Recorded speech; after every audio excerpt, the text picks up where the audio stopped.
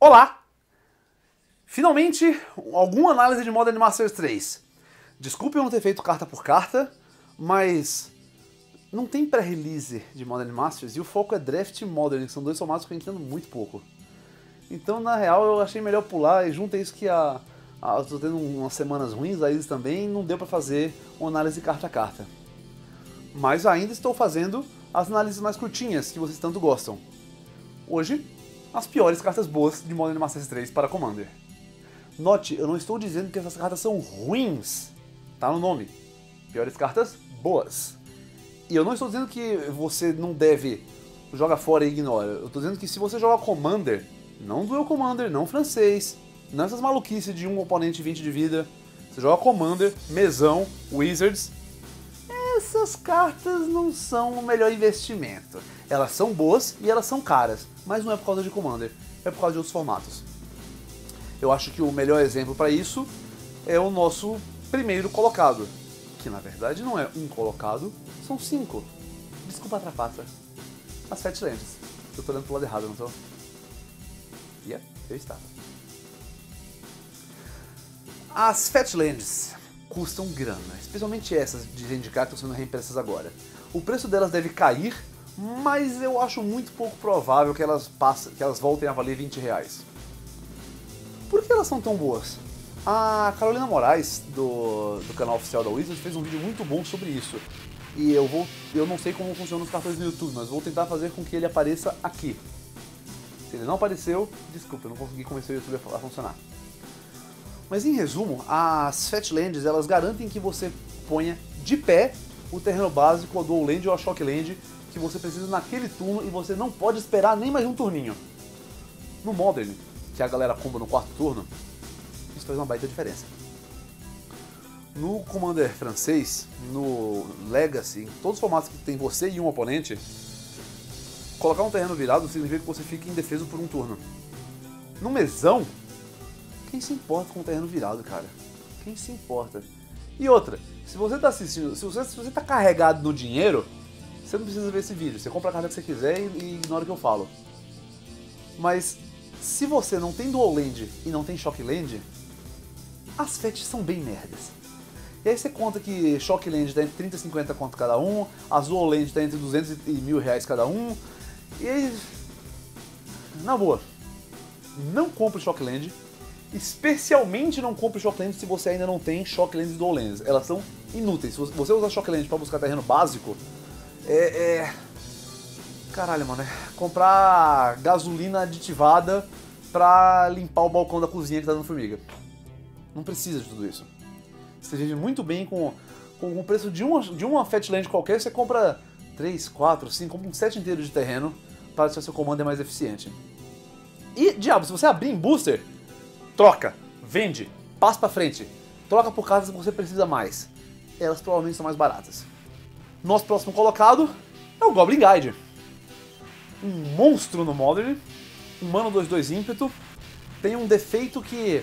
Ok, às vezes esse defeito ajuda o oponente, mas quando não ajuda o oponente, ajuda você, que ele te dá informação, você sabe o que tem na mão do oponente. Mas cara, ele é um mano 2-2 ímpeto. Mesmo no Modern, ele é uma merda se você fizer ele lá no turno 6, 7. Ele é muito bom no turno 1, ele é meio merda no turno 7. No Commander, você tem três oponentes. Se você fizer um camarada desse no turno 1, você não vai matar. Um, você não vai matar nenhum dos oponentes batendo com o bicho 2-2. O que você vai conseguir é raiva. Você vai conseguir que a galera vire. Ah, esse é o cuzão aí, ó. Tá todo mundo de boa aqui, mal começou o jogo, nem fiz meu mano ainda, o cara já tá batendo. Já bateu. Bateu 10. Bate nele que tá batendo 10. E você tá jogando de vermelho no Commander se é ruim no Modern, você tá sem mão e compra esse e compra o, o Guia Goblin, imagina no Commander. Você tá lá com seu baralho vermelho ou com seu baralho Boros, não tem como comprar cartas, mão vazia.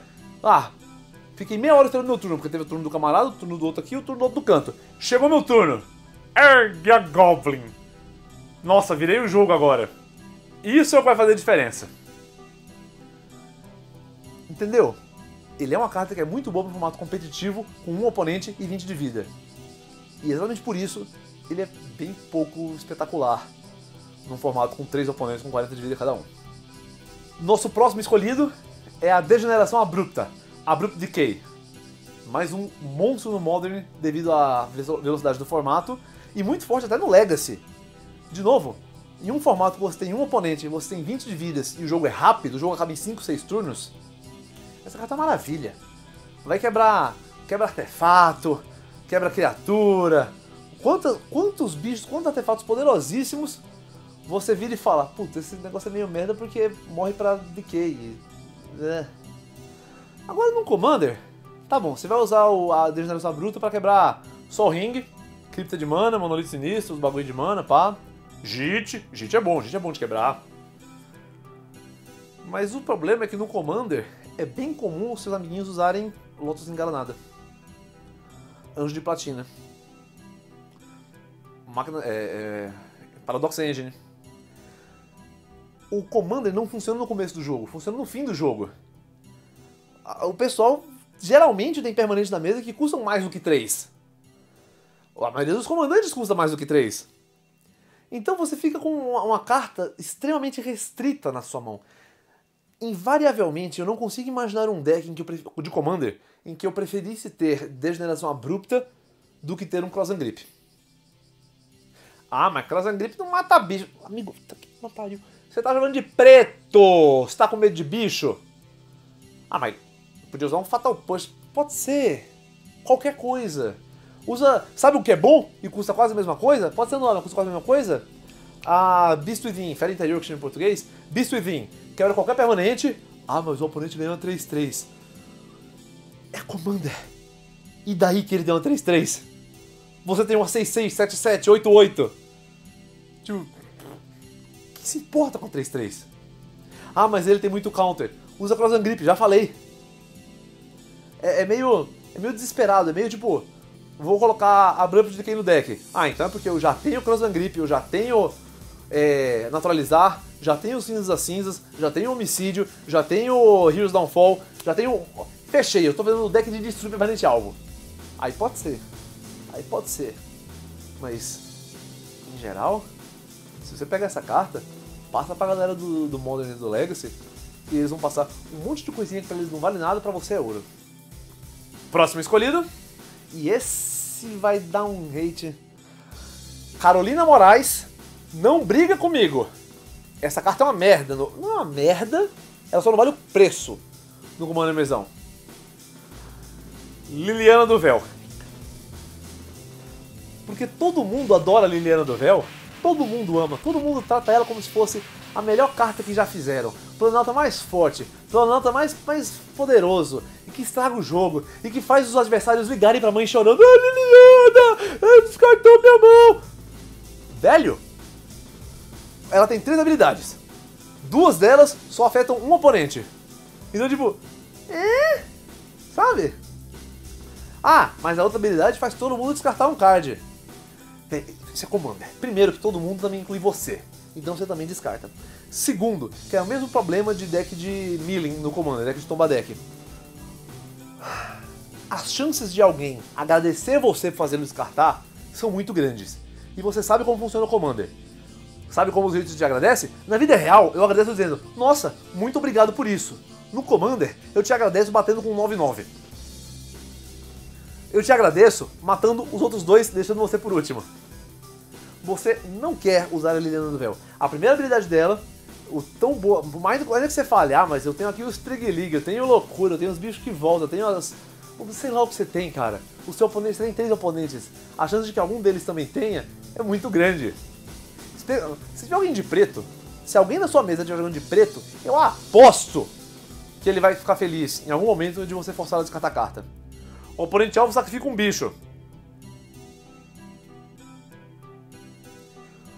E daí que o oponente sacrifica um bicho? Tá bom, então escolhe um cara e fala: Ó, oh, filho da puta, você não joga mais. Eu não vou deixar você fazer bicho na mesa. Que cuzão você é? Joga com a mesa inteira, sabe? O máximo que você vai fazer é estragar o jogo de um cara, enquanto os outros dois batem nele e depois em você. Uh! Uma coisa, ah, mas Ultimate é bom pra caramba, é, Ultimate é bom. Se você conseguir deixar a Liliana viva até ela encher e fazer o Ultimate, de novo é a mesma coisa, você estraga a vida de um oponente e os outros dois pegam vocês. E ela vai ganhando pra caramba! Sabe? Você, você, se você consegue chegar numa loja mediana e trocar uma Liliana do Véu por um Commander lacrado e mais umas cartinhas de troco. Ela simplesmente não vale o custo que custa. O que nos traz a pior carta boa de Modern Masters 3 para Commander. A carta que é muito boa no Modern, é muito boa no Legacy e é uma merda no Commander. Tarmogoyf. Esse é louco! Tarmogoyf é 2 mana 3, 4. Nossa, cara. 2 mana 3, 4? Que bom, hein? Não, porque ele fica 6-7, porque tem as cartas tribal, tem alta. 2 mana 6-7. Uau, hein? Que genial. Ele atropela? Não, mas é 6-7. Ah, ele voa? Ah, não, não, mas é 6-7. Ele tem sombra? Não, não, mas ele é 6-7. Flanquear, pelo menos? Não, ele só é 6-7. Então bloqueia essa merda numa ficha 1/1 e não me enche a porra do saco. Isso é Commander, caraca. Sabe arranha nuvens cruzando 13-13? Sabe por que ele é ruim? Porque ele não faz nada, ele só é grande. Bicho que é grande e não faz nada não ganha jogo de Commander. Os seus oponentes têm muita remoção, tem muito bicho eficiente com efeito. Eu vou bloquear o seu Tarmogoyf a minha vida inteira. Um tokenzinho 1 barra 1. Eu vou segurar ele no Mesovit, eu vou fazer token bloquear ele, vou parar em qualquer merdinha. E sabe o que vai acontecer? De novo, isso é Commander. Eu tenho bicho 99 no meu deck, eu tenho bicho grande, eu tenho barreira 08. Tarmogoyf... Se o Tarmogoyf custasse 10 real, eu dizia, ah, pô, beleza, tal, você completa seu deck com, com um bicho que bate bem. Ele não custa 10 real. Ele custa a porra de uma box inteira, velho.